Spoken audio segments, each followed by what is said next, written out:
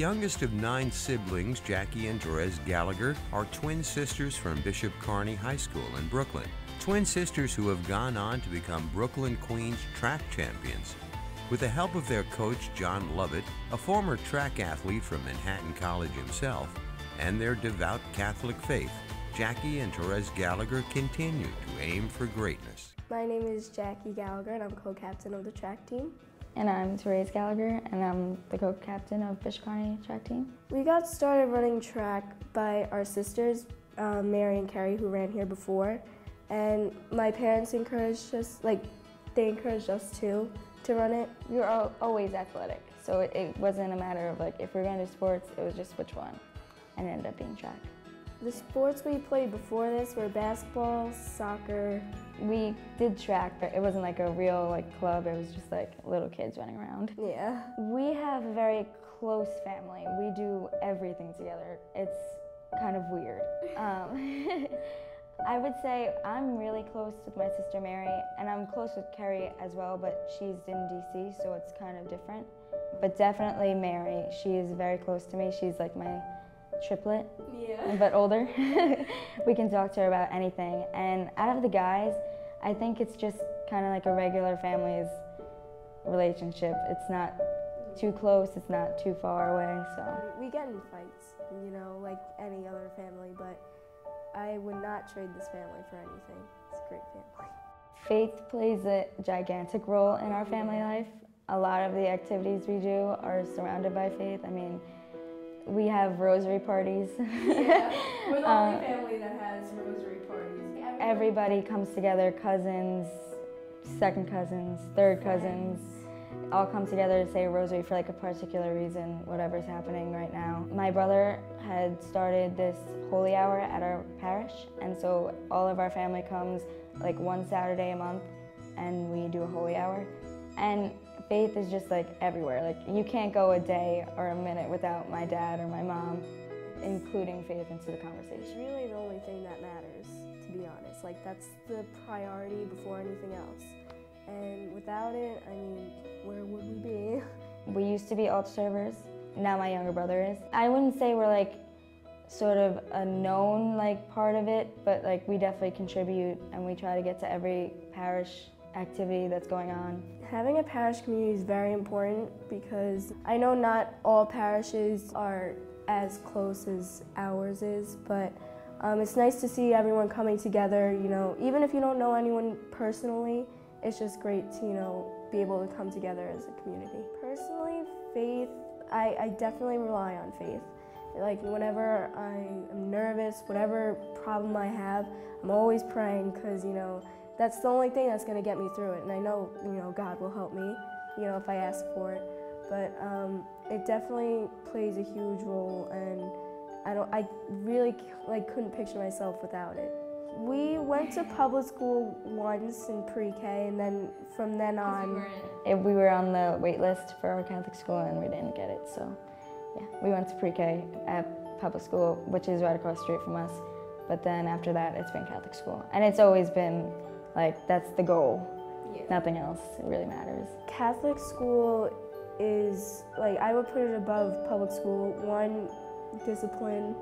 Uh, it's, it's safer, I think. But also because you have to learn the faith, like, you can't just stop learning the faith, Of, you know, eighth grade or whatever and just leave it alone. It's nice to, you know, keep learning and, you know, just know more about, you know, faith. When you go to public school, it's like you go to CCD or an after-school religion program, and it, it kind of, it would feel like a chore, and you don't want it to feel like that. You want it to be included every day in everything you do. So Catholic school is definitely a better choice, at least for me. The constant exposure has definitely, you know, helped my faith. It helped me, you know, learn more about like Catholicism is being a Catholic. It's really, it, I think it's very important to have it. It's like math. Like if you haven't done it in a while, you forget about it, you don't remember how to do it, you have to go back and look.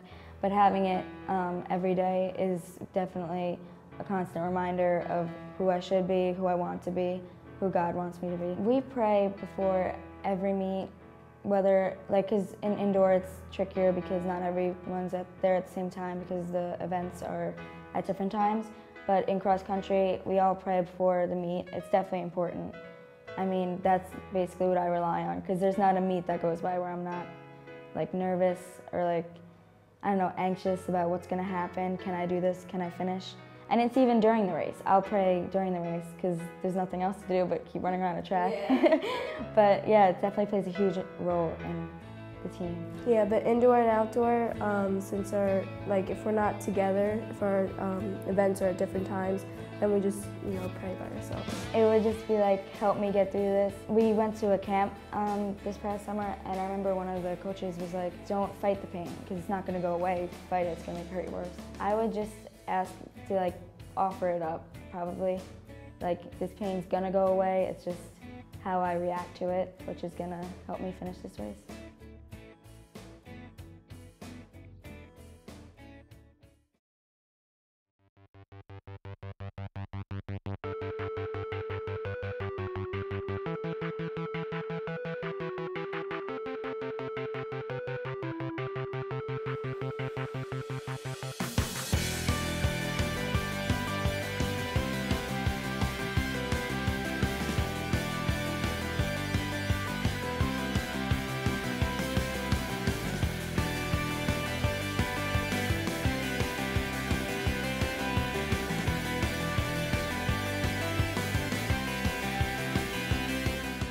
The event that I run in indoor and outdoor is the 1500 meters. Basically, my coach chose it for me. I tried it out and I really liked it. And right now, this season, I'm running the 800 to help my 1500 next year. So I'm basically like middle distance, but I really enjoy it. So I think the, my coach picked the right event for me. I run the 3000, which is like the longest race of my life and I didn't choose it, my coach chose it for me. I did the 800 freshman year, but it was just, I couldn't do it. It was so irritating because it's tedious. Even if you drop one second, like that makes the entire, or like add a millisecond, it makes the world, like it makes the difference. But in the 3000, I have more time to figure out what move I want to make or when I want to make it. And so definitely it's, I would say I'm more of a strategic person. So that's good for me. I've had injuries this entire year. Um, cross country, I missed most of it except for our championships. But um, I was out with, we weren't really sure what it was, but my foot was just not working with me. It was pain, but it wasn't like broken. It was supposedly a um, the beginning to a stress fracture, which could have turned out really bad, so I didn't run on it. It was hard because I didn't feel like myself when I wasn't running. Like I felt like, you know, I, didn't, I wanted to eat the same amount, but I knew I couldn't because I wasn't running. And then I got hurt again this indoor season, which was basically, it was the same thing, but I just found out that apparently I have an extra bone in my foot. So the front of my foot is compensating for the extra bone. It was definitely hard again for to like miss practice because it's kind of like being away from the team and it's just like it's a whole new thing because the teammates might not look at me as the co-captain as much anymore because I'm not around as much. And I don't know, I just missed being around, but I'm back now, so it's good. You just roll with what life gives you. I mean, I have pain in my foot, I can't run on it, it's gonna hurt me in the long run. So you just kind of like do what you're told, listen, and you'll be back as soon as you can. Running with my sister is probably the easiest thing that could have happened with this team because it's like everybody else has to go home and run by themselves. I have somebody to talk to who can understand what practice was like and why I feel so like tired and it's easier. We do compete when we're running. Like when we're on the line, we're competitors, but if I see her, she sees me during the race, we'll give each other like a pat on the back, you know, keep going, keep pushing. But um, mainly we are competitors. I would say I'm more competitive even if I'm not, like Jackie could be better than me, it doesn't really matter. I'm just, I can't take it. I have to do my best to get either on the same level or past her by like that much. Yeah, I think being on the same team has brought us together. It's like having a best friend and a teammate and a co-captain that I'm always in touch with. We can always share what we think with each other. It's, there's like no boundaries. Like you can have a best friend, but it's nothing like having your sister or your twin. We understand like how tiring it is with school and track and everything else that has to be done. The drive and the passion to keep going, the main motivation is college. because that's like what we're striving, you know, to do to like for our professions and whatever to go to college. So, but I mean, we also love running too. I want to stay fit, and it's hard to imagine what else I would be doing during that time. I don't like to think about it. I don't really know what college that I would like to attend yet because I'm still figuring out what I want to do. So there was one college that came from Connecticut to scout us, but other than that, I'm still just trying to figure out. Mainly trying to stay like uh, near my home, like in New York.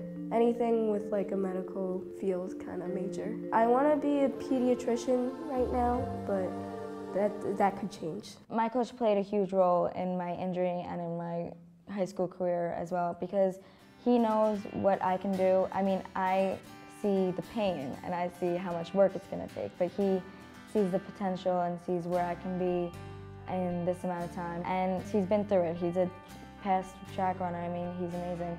So I definitely, I definitely needed him to get through the injury and to get through my track career. My coach helps me in uh, working towards my goals because he's a great motivational speaker. You guys can do it. I know you can. All right, Amanda. You're the leader, baby. He was actually on the US, well, he made the USA team. He was really good in college and in high school, had like a world record. So um, he really knows what it's like, you know, the pain and, you know, how much you want to, you know, beat your time. So he's helped me just by, you know, understanding like what it is to go through like all that we have to. I'm John Lovett. I'm the coach of uh, Bishop Kearney track team um, and cross country team. Um, I've been coaching at Bishop Kearney for the past 13 years. I'm a product of the Catholic High School, uh, uh, Power Memorial High School. And then I went on to Manhattan College where I ran for Manhattan College and um, was part of that NCAA cross country, I mean indoor um, championship team. Being a co-captain has like many responsibilities. Whatever the coach gives you, like any paper, any form that you have to give to the school for like a meet entry, you have to do that. You have to encourage the team and mainly bring the team together, making sure like we're all like in sync and like we're all into it, making sure like no one's, you know, down or like doesn't want to do it, make sure everyone like is having fun. And it's important to make sure everybody's doing what they're supposed to be doing because I mean the coach can only have two eyes, doesn't have eyes on the back of his head. Like if he's not there and he tells us to like whatever has to happen, like when we say it, it's like he's saying it. Motivating the team is not easy, but I mean, it's just lightening the mood. It's like making jokes, uh, having just team time where it's not worrying about the next race They're worrying about how this workout's gonna end up. It's just trying to like, I don't know, bond. And that can happen anywhere. That can happen on the way to practice, that can happen in school, just to make sure they all know like we're there for them we're doing the same thing they are, and they can count on us if they need to talk about anything. And when they're out there uh, training with the, the, the, athletes may not be as good as them, but they're motivating them, either, either at, at a race meet, at a, at a meet, uh, encouraging someone, working with them, and just being a good teammate. You know, when they're winning or when they're losing, they're, they're just uh, solid student athletes. They're just, uh, just phenomenal kids. Some people expect us to live up to Mary and Kerry. I mean, they obviously don't expect anything from us. Like, they know us. They know we're going to do the best we can, and they know that we're all different people, and we're going to do our own things. Like, it's not our family. It's more like people who don't necessarily know us, but they know of us. So it's like, if Kerry ran the 3,000 and she ran, like, the best time, like 11 minutes, say, then I would be expected to run 11 minutes. And it's just like, it's motivation for me, because I know I don't have to, but in the end, I'm competitive and I want to. I want to beat their time, so it's a good motivator for me, but it's not the main motivation for me. I don't really think my family has expectations for us to, you know, match Carrie Mary's times. I think it's just they're really supportive, and you know, whatever we do, they're always happy for us, and they continue, you know, push us to our best. I think Carrie Mary gave them an idea of where they think that we could be, but it's not necessarily where we should be per se. Being on the track team has taught me a lot of things. Number one, it's taught me discipline. You have to listen to your coaches. You have to, you know, do what they say because they know what's best for you. You got to run every day, which can get tiring after school. I know there's times where I just want to sleep I never wake up, but I have to go on a run. it's a great sport. It, you meet a lot of great friends in it, but to be to excel in it, you know, other sports you get instant uh, response, you know, instant uh, gratification. If you're playing basketball, you hit the basket, it's still it's fun right away. You get you see some result. Track is a is a sport that in time you're going to get better, and um, you got to be committed, and you got to and it's it's not easy. It's a lot of hard work, but anything else is any hard work you're going to get great results. If you follow our program, you'll definitely improve from when you first started to when you uh, when you when you finish with that Bishop Kearney. It's also taught us what team really means. Like even though in indoor and outdoor you're running, you know, your individual event, it's still nice to have a team that supports you and you all count for the points to win the meet. So it definitely taught me, you know, what team really means, to be loyal and to support each other.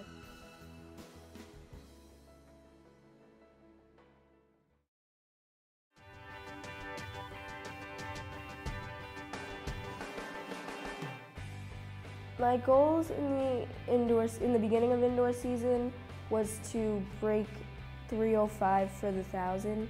I mean, I didn't achieve that, but what I did achieve is getting used to the thousand and running at a fast pace, a faster pace than I usually do for a 1500. And I also improved my time for the 800. I've been practicing, you know, going at a faster pace. I was really hoping to break that 305, but you know, whatever happened happened, so it's okay. What I would do differently to achieve that is probably eat healthier, stretch more. I never stretch. It's so bad. I'll stretch in the beginning of practice with everyone, but you know, after my workout, I won't stretch because I'm too lazy. I would also, I guess, do more tempo runs because I don't do that as much as I should. And I guess relax more too. You know, like also, you know, just take it easy sometimes. I have changed changed so much since my first year on the team. I I've definitely become more disciplined. I've learned what it is to work hard. Like I'm tired at the end of the day. I'm not like dead, but I haven't worked this hard in grammar school. Like this is like the hardest I've worked. So it showed me, you know, to you know just keep pushing.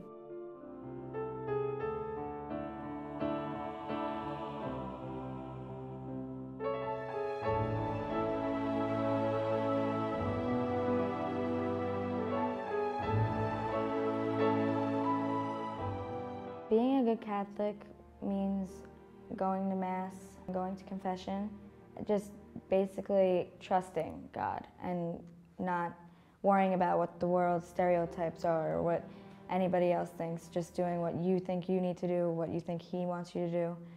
And I think I would do that just by, I mean, being more peaceful instead of letting things get to me. I mean, that's very easy to let other people put hate in your heart. What I would say in a prayer varies to what's going on at that point in my life, but I mean, I would just ask for the strength to get through today, to get through this workout, to get through school or test, or even just for God to guide me with whatever He wants me to do today or tomorrow. Recently, my grandma got sick uh, with cancer, and that was definitely a time that I turned to my faith because it was like it's scary because that type of thing didn't happen that much in my family and I just didn't really know how to deal with it. So I turned to God and I prayed. Like I prayed a lot. I look up to my mom as a role model of my faith because we're like the same person. So we butt heads a lot, but it's kind of different to see how she deals with things and when I deal with things because she's more experienced and she's more I would say faithful than I am because I'm still young and growing and, you know, um, experiencing all these things. So I think it's a good role model for me because she deals with it a lot better and she knows how to turn, when to turn to God, and um, I can definitely work off of that. I look up to my sister Mary as a role model because she is a teacher and that's what I, one of the fields that I'm looking into. I'm not really sure yet, but and she just, I don't know, she's amazing. she ran and even at, with Kerry in high school because Kerry was always like one step ahead and she just de dealt with it so gracefully and I think that she's just one of the best people I know.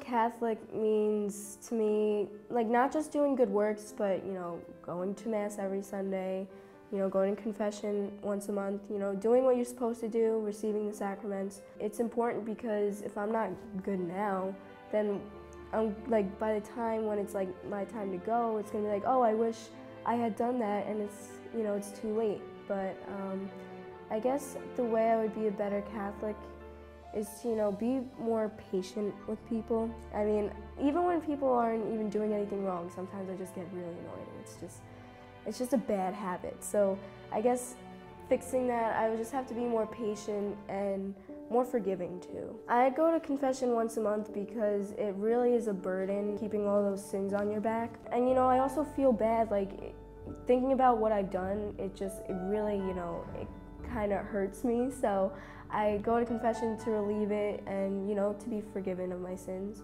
And it's very important because if you don't go to confession, then what are you going to say when you, you know, you get up there and he's like, you know, why didn't you come and see me so I could forgive you? And you're like, oh, I don't know, it's just lazy. So I think that's why it was important to go. I usually pray every day because, you know, I need it. If I don't pray, then it's like, it's gonna be a hard day. what I usually do, I say, please, you know, be with me today. Um, please forgive me for, you know, anything that I've done to offend you. And just take away my fears that I've had or that I have today to, like, help me get through the day. I have had difficult times where I needed to turn to my faith um, I have a fear of public speaking. Like that's my one of my biggest fears. So I definitely turned to my faith in that, and pretty you know recently too. I also pray for because I also have fear, you know, competing like anyone else. So I also pray for that. My dad is, you know, he's very wise, I think. He really gives me great advice, you know, whenever I have a question about my faith or whenever I'm, you know, doubting God in any way. He's always there to, you know, give me good advice and to really open my eyes to what God is doing. My role model would have to be my sister Carrie. She's done like so many things. I can't.